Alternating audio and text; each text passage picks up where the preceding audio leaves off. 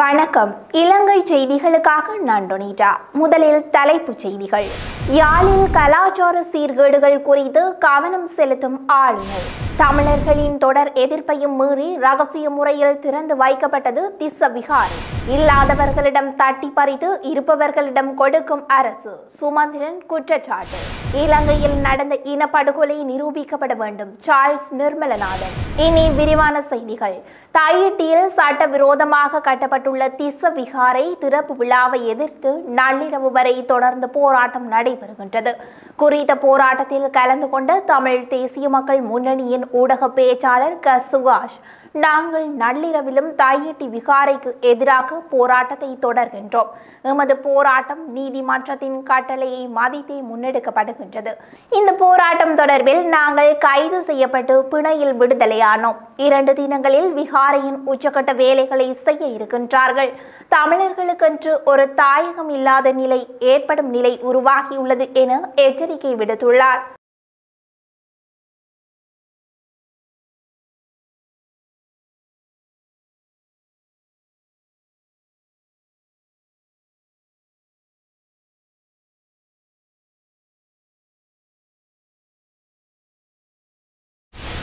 ஜனாதிபதி அலுவலக பிரதானி சாகல ரத்நாயக்க ஜனாதிபதி ரணில் விக்ரமசிங்கவின் தீர்மானங்கள் தொடர்ந்தும் அமல்படுத்தப்பட்டால் எதிர்வரும் ஆறு மாதங்களுக்குள் வங்கி வட்டி வீதங்களை குறைக்க முடியும் என்று தெரிவித்துள்ளார்.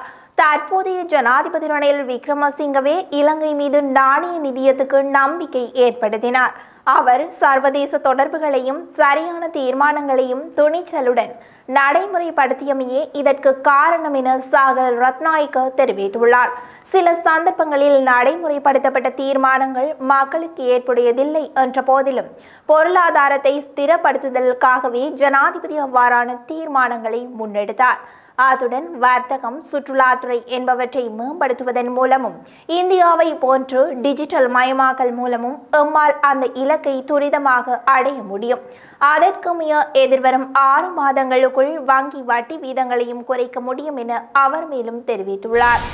இலங்கை தொழிலாளர் காங்கிரசின் தலைமை அலுவலகம் சௌமிய பவனில் இலங்கைக்கான செக் குடியரசின் தூதுவர் டாக்டர் எலெக்சா ஜிகோவா கிழக்கு மாகாண ஆளுநர் செந்தில் தொண்டமானை சந்தித்து கலந்துரையாடியுள்ளார்.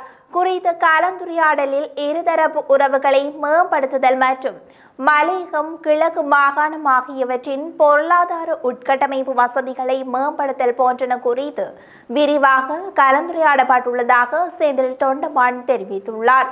அமைச்சர் ஜீவன் தொண்டமான் நாடாளுமன்ற உறுப்பினர் ராமேஸ்வரன் எம்பி மற்றும் இலங்கை தொழிலாளர் காங்கிரசின் உயர்மட்ட பிரதிநிதிகள் ஆகியோர் இந்த கலந்துரையாடலில் கலந்து கொண்டனர். தமிழ் தேசிய கூட்டமைப்பின் யாழ் மாவட்ட நாடாளுமன்ற உறுப்பினர் எம் இ சுமந்திரன் மின் கட்டண அதிகரிப்பின் மூலம் இல்லாதவர்களிடமிருந்து பறித்து இருப்பவர்களுக்கு கொடுக்கும் செயற்பாடு நடைமுறைப்படுத்தப்படுவதாக குற்றம் சாட்டியுள்ளார்.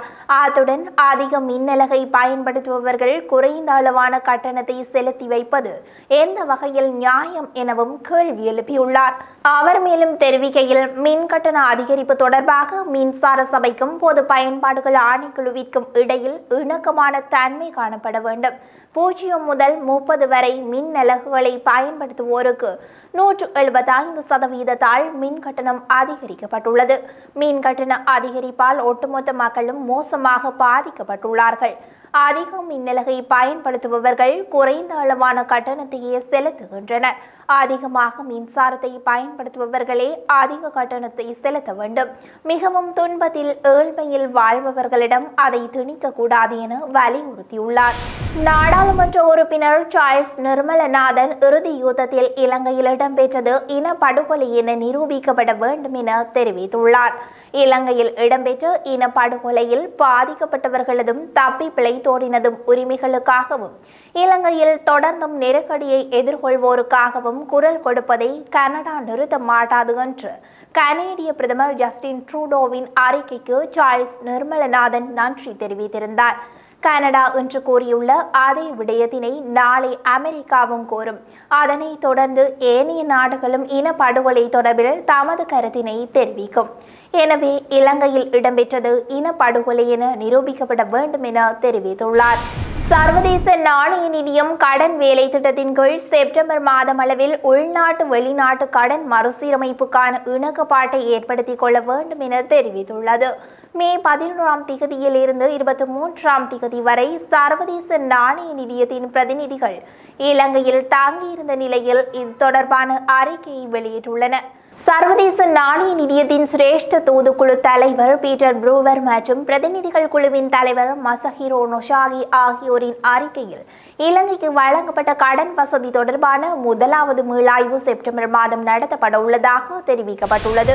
தமிழர்களின் பல போராட்டங்களுக்கு மத்தியிலும் சட்டவிரோதமான முறையில் அமைக்கப்பட்ட யாழ் தாயிட்டி திச விகாரை இன்று அதிகாலை தென் பகுதியிலிருந்து கொண்டுவரப்பட்ட மக்களுடன் ரகசியமாக திறந்து வைக்கப்பட்டுள்ளதாக தகவல்கள் வெளியாகியுள்ளன. விகாரை திறப்பு விழா நிகழ்விற்கு செல்ல பிரவேசிக்க ஊடகவியலாளர்களுக்கும் அனுமதி மறுக்கப்பட்டுள்ளது. விகாரை அமைய பெற்றுள்ள இடத்தை அண்மித்த பகுதிகளில் பெருமளவான போலீசார் குவிக்கப்பட்டு ரகசியமாக விகாரை திறந்து வைக்கப்பட்டுள்ளது. இந்நிலையில் குறித்த விகாரையை அகற்ற கோரியும் தனியார் காணிகளை மீள விடுவிக்க கோரியும் மூன்றாவது நாளாக போராட்டம் முன்னெடுக்கப்பட்டு வருகின்றமை குறிப்பிடத்தக்கது. வடக்கு மாகாணத்தின் புதிய ஆளுநர் பி. எஸ். எம். சார்ல்ஸ் வடக்கில் காணப்படும் பல்வேறு சமூக பிரச்சினைகளுக்கு தீர்வு காண புதிய வேலை திட்டத்தை தயாரிக்கும் பணிகளை ஆரம்பித்துள்ளார். பதவியை உத்தியோகபூர்வமாக பொறுப்பேற்ற பின் அவர் தனது முதல் பணியாக இந்த வேலை திட்டத்தை உருவாக்கும் பணிகளை ஆரம்பித்துள்ளார்.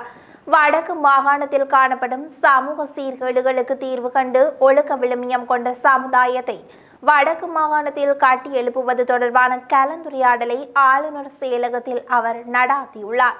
இந்நிலையில் இரண்டாயிரத்தி இருபத்தி ஒன்று முதல் இன்று வரையிலான சமூக விரோத செயல்கள் வன்முறைகள் பாலியல் பலாத்காரம் சிறுவ துஷ்பிரயோகம் போதை பாவனை கொள்ளை களவு வீதி விபத்துக்கள் தொடர்பான புள்ளி விவர ரீதியான தகவல்களுடன் சமூக மட்டத்தில் காணப்பட்டு வரும் சீர்கேடுகளை விளக்கிய யாழ் மாவட்ட பிரதி காவல்துறை மாதிபர் மஞ்சுள செனரத் இளையோர் மத்தியிலேயே இவ்வாறான பிரச்சனைகள் பரவலாக காணப்படுவதாகவும் சுட்டிக்காட்டியுள்ளார். இலங்கையின் கடற்படை தளபதி வைஸ் அட்மிரல் பிரியந்த பெரேரா ஐந்து நாள் பயணமாக நேற்று இந்தியா சென்றுள்ளார். அங்கு அவருக்கு இராணுவ அணிவகுப்பு மரியாதை கொடுக்கப்பட்டது. அத்துடன் தமிழகத்தின் அண்டை மாநிலமான கேரளாவில் எளிமலாவில் உள்ள இந்திய கடற்படையின் பயிற்சி மையத்தில் நடைபெற உள்ள விழாவில் சிறப்பு விருந்தினராக கலந்து கொள்ளவும் உள்ளார். கேரளாவில் உள்ள எளிமலா கடற்படை பயிற்சி மையம்தான் ஆசியாவில் உள்ள மிகப்பெரிய கடற்படை பயிற்சி மையம்.